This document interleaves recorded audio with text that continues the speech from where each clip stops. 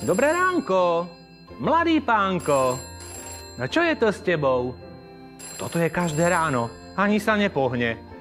Závesy som odtiahol, slniečko mu svieti do izby a ten budík, a ten budík ako rinčí, počujete?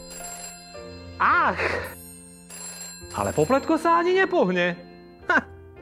Toto by jeden nepochopil. Keď už ani budík po toľkých zvoneniach nepomáha, človek musí vymyslieť nejaký nový trik.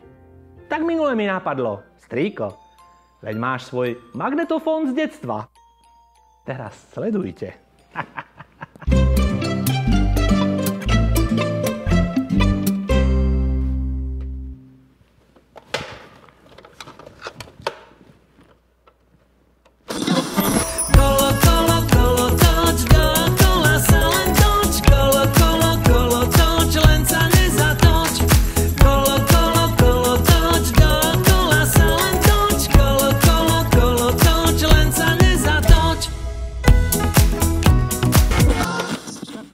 Ten má snad zaľahnuté uši, alebo čo?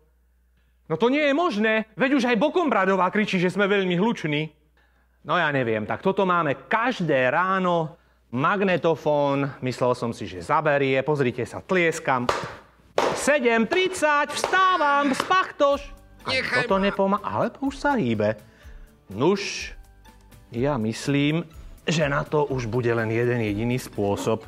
Tento je vždy osvedčený. Krhlička s vodičkou. Spachtoško, vstávame 7.30, no. 7.30, 7.40, škola začala, škola, škola. Nie. Školník už behá s metlou, kde je popletko, zatváram brány.